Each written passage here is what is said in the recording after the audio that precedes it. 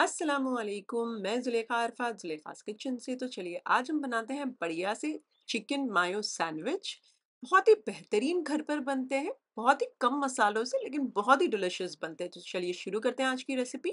साधारण, यानी ordinary ingredient से extraordinary chicken mayo sandwiches बनाते हैं। चलिए ये है, चर्बी निकाली हुई 2-3 पानी से धोई हुई, आधा kilo chicken boneless, medium pieces हैं और आप चाहें तो प्रेस पोर्शन ले सकते हैं। मैंने थाई पोर्शन लिया है, इसे पतीली में डाल दीजिए, एक कप पानी डाल दीजिए, एक छोटा चाय का चम्मच अदरक लहसन का पेस्ट भी डालिए, चुटकी भर नमक और वन फोर्थ छोटा चाय का चम्मच काली मिर्च डाल दीजिए, एक तेज पत्ता डालकर इसमें उबाल आ जाने दीजिए, एक बार चला लीजिएगा। जब अच्छा उबाल आ जाए और एक बार तब उबाल आने के बाद भी चला लीजिए, स्लो आँच करके इसे ढककर तकरीबन कुछ समय के लिए पकने दीजिए। तब तक पकाएँ जब तक चिकन पूरी तरीके से गल नहीं जाती, तब तक।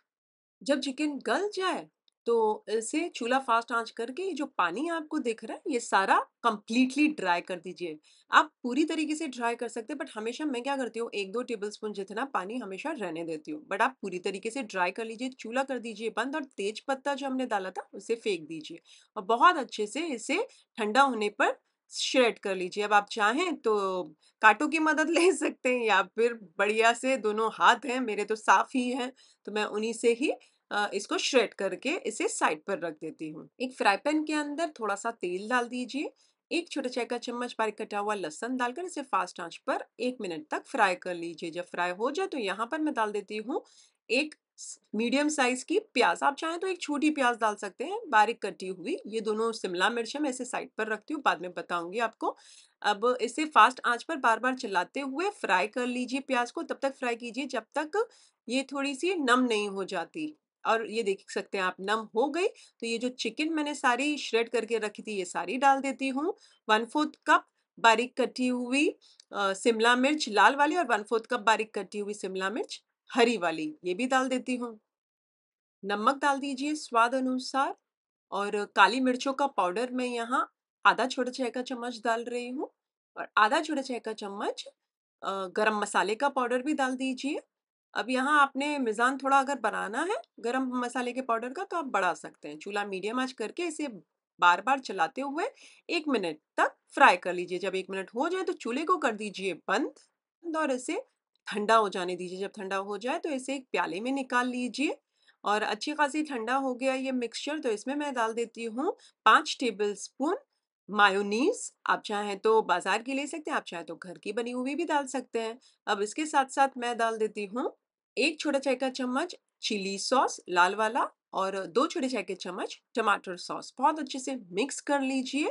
थोड़ी सी मैं कोथमीर यानी कि हरा धनिया डाल देती हूँ।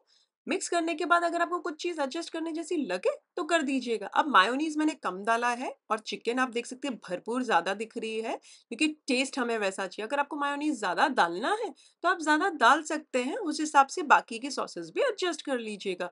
मुझे हल्का सा काली मिर्चों का पाउडर कम लग रहा है तो मैंने वन फोर्थ छोटा चाय का चम्मच डाला है, ये ऑप्शनल है। अब इसे डालकर मैं बहुत अच्छे से मिक्स कर लेती हूँ और अब हम आते हैं ब्रेड की ओर। दो ब्रेड के स्लाइसेस ले लीजिए। अब ये जो मिक्सचर है, बिस्मिल्लाहिर्रहमानिर्रहीम बोलकर दो तीन टेबल स्पून जितना हमारी जो ब्रेड है, उसके ऊपर इस तरीके से चारों ओर फैला दीजिए। अब कम या ज़्यादा आपने क्वांटिटी कितनी डालनी वो आप आपके हिसाब से देख लीजिएगा।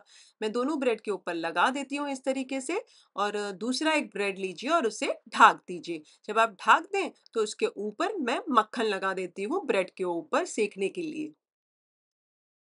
साइड पर तवे को फास्ट आँच पर हल्का सा गरम कर दीजिए, ज़्यादा मत गरम कीजिएगा।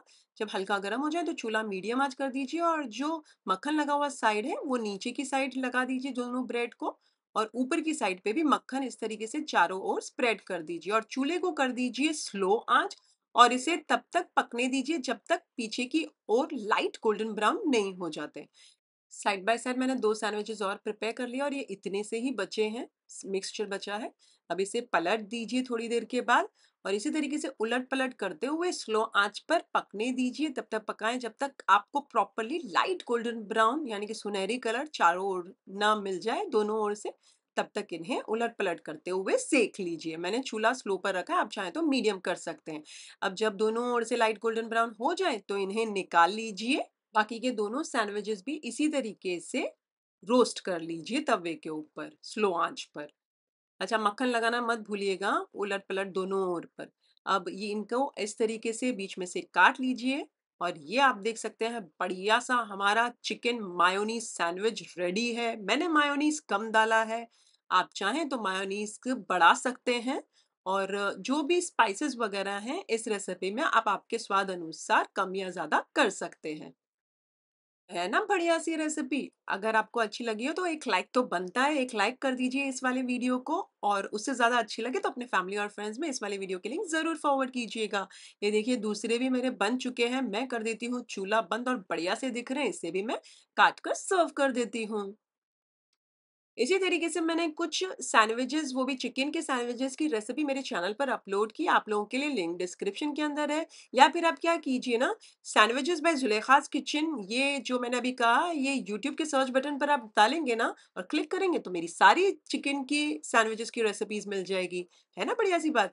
अच्छा अगर आप ये बनाएँ ये रेसिपी तो मेरे साथ कमेंट सेक्शन में ज़रूर शेयर कीजिएगा, मुझे आपके कमेंट्स पढ़ने बहुत अच्छे लगते हैं।